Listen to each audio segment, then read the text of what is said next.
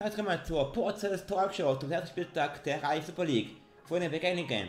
FC Züge gegen St. Gallen, wer jetzt zum Spiel der Erstcode, aber schon Spiel der 4 ausgetragen worden ist. Servet Gens am Samstag gegen den FCS Nürnberg Alexanders. Und zum den folgenden Begegnungen. FC Basel, FC Lugano. FC Honig spielt daheim gegen den FC Sion und Lugano kommt der Meisterbar IB als Gast.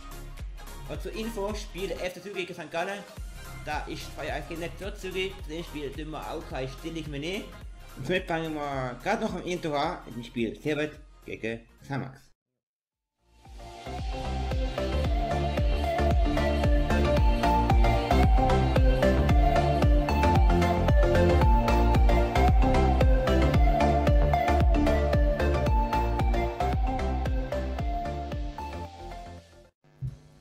So, es ist ein Roman die Derby, sicherlich ein ganz spannendes Spiel. Ein Roman die Derby haben wir schon lange nicht mehr gehabt. Das heisst, so lange ist es auch nicht her, ist etwa zwei Jahre her, dass die Saison die Derby ist. Aber man darf ganz klar sagen, wenn man das Faktspiel zusammen schaut, Samax hat bis jetzt alle Roman die Derby gewonnen gegen Servet. Das spricht für Xamax, vielleicht eher mal, man kann sagen, das spricht vielleicht eher für Xamax, jetzt in dieser Phase, wo sie drin sind. Aber sagen wir mal auch Servet, wie wir da vielleicht auch sehen, der Frage, Konservatine ist ja momentan einfach das stärkste Team der Super League, also wird auch schwer für Xamax das Spiel können gewinnen. Genau. Und eben, wenn wir jetzt so wieder von Favoriten reden, ich finde, es wird sicher ein spannendes Spiel. Äh, mehr oder weniger, weil es einfach wirklich so, äh, so ein zwei Mannschaften ähm, so ein bisschen von der Romantie sind. Genau. Und jetzt, äh, ich denke, Xamax hat auf jeden Fall um einiges mehr Erfahrung in der Super League. Jedoch da, man sieht, Servet ist halt wirklich sehr stark und so. Da muss man halt schauen. Es, es könnte ausgleichen sein, aber es könnte auch nicht ausgleichen sein. Ich würde jetzt mal auf Servet tippen, einfach nur von der Leistung her, die sie jetzt in dieser, in dieser Saison schon gezeigt haben. Ja, wir nachher stellen, jemand auf das Spiel, haben sie einen Kontersieg gemacht gegen Thun, aber ich sage jetzt mal, es tötet sich ein bisschen krass, als auch war, Spielerei. Die Spielerei ist jetzt nicht so effektiv, aber auch die Thun hat auch Chance gehabt, man hätte noch gut geschossen, hätte eben sogar Thun können gewinnen, sag ich mal, aber so ist halt immer halt. Wer Goal ist kassiert, Ja, nein. ist halt einfach, das heißt auch, wenn man sagen, effizient, Verservet ist auch wirklich da gewesen mit 4 Goal, weil überhaupt Also, das ist ja, zu genau, fest. mit also- vier Goal kann man halt wirklich nicht mehr sagen, es ist effizient. Da haben sie wirklich klar dominiert. Die sind einfach die bescheidenere Mannschaft gewesen und ja, und da haben wir einfach mal so ein bisschen gesehen, was das passiert. Wenn jetzt mal halt wirklich ein, ein wirklich perfekt organisiertes Team gegen jetzt so eine Thun spielt, wo einfach so ein bisschen geschwächt ist und so, ja, der, der kommt halt so etwas. Ich muss aber wirklich klar sagen, da, David ist halt wirklich, hat, hat sie überrumpelt. Aber ob es jetzt in diesem Spieltag ähm, in diesem Duell auch so vorkommt, wird man sehen. Gut, erste Begegnung heißt Thun gegen Slio. Nach erster Ecke, Thun hat zwar heftig weitergekommen gegen Servet, schon war besprochen, aber ich finde an sich, hätten die Saison gar nicht so schlecht gestartet. Ich denke, das kann man jetzt halt weil unentschieden gut, aber so viel, ich meine, so schlecht hat Thun auch nicht gespielt. Entweder die jetzt momentan relativ viele verletzte Spieler, was sicherlich auch für sie auch spricht. Und sie momentan hat, ist auch spielt da richtig, richtig stark. Also da ist der Zier sogar der Favorit. Aber Thun ist eine Mannschaft, die kann jeden Spieltag gegen das andere spielen. Also ich behaupte, nach der Breite, ob die Folge hat oder nicht hat, ich sage mal eher nein, weil Thun holt sich auch wieder zurück.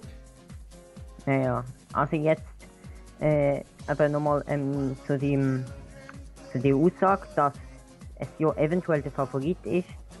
Ich denke eher, dass es ziemlich sicher ist, dass jetzt jeder ähm, Sio Favorit ist. Weil ich meine, sie sind jetzt auch wirklich einer von der ähm, stärksten Teams momentan von der Super League. Ähm, momentan echt richtig viele Punkte geholt. Sind ja jetzt auch schon auf Platz 3, habe ich nicht erwartet, aber muss man sagen, haben sie plus minus auch eigentlich verdient. Und genau, jetzt, jetzt gegen Thun wieder. Und ja, eben, wir haben jetzt eigentlich auch noch eine Frage aufgeschrieben.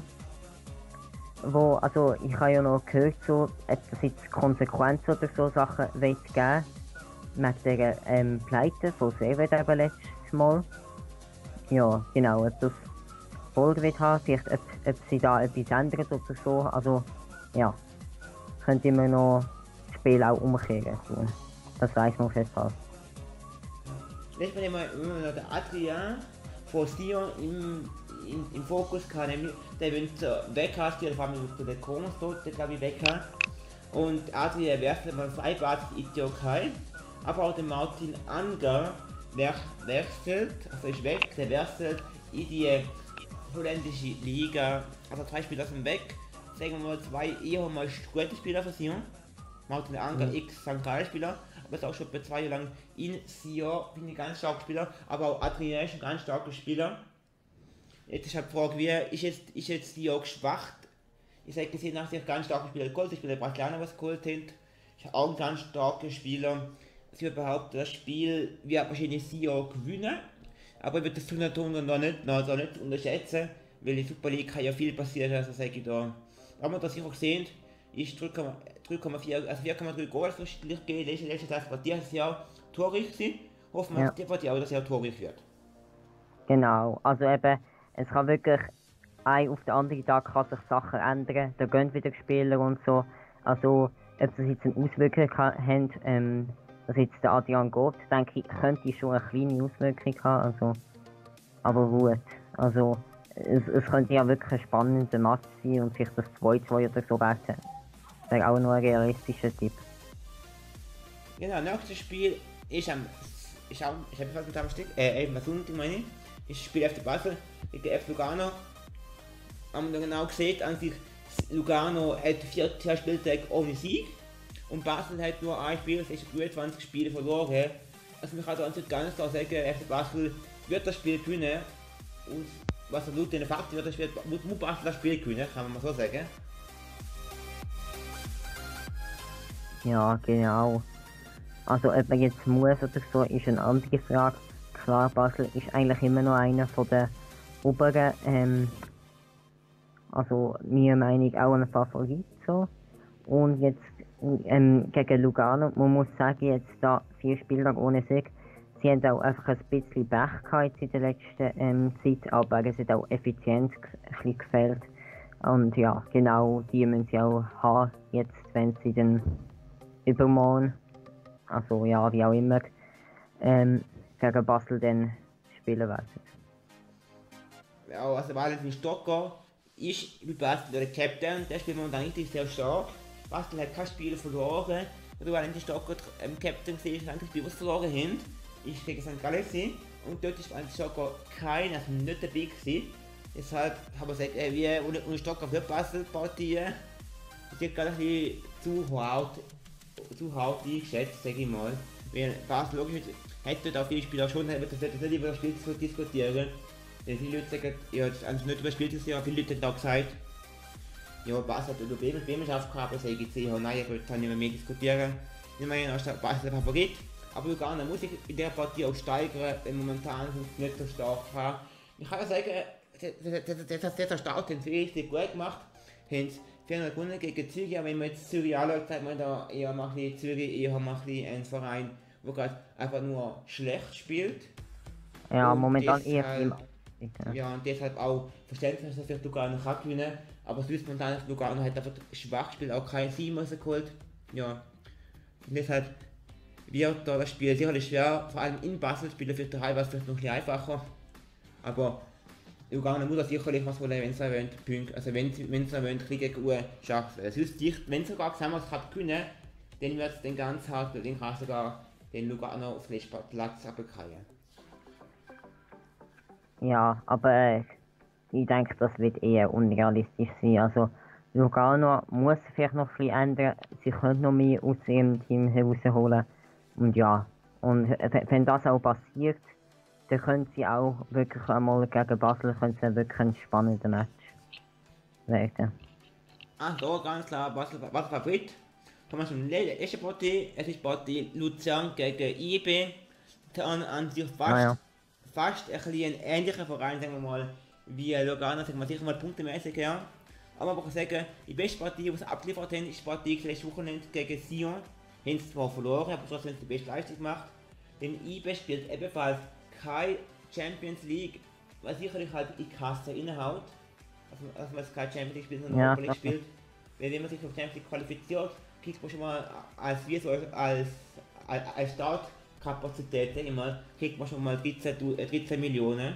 Also richtig schön viel Batzen. ja, Ja, ja. kann man sagen? IB, du stehst jetzt 4,3 also du hast 4,2 4,2 Goal gelesen in dieser Partie. Und in Sami ist da momentan der Goalgetter von IB, der hat da 5 Goal geschossen. Aber man muss sagen, der Huara wäre eigentlich auch eher mal schon gewesen. Also, ja, und auf jeden Fall gibt es eigentlich jetzt auch mehr, nicht mehr so groß viel zu diskutieren, wer jetzt so der Favorit ist.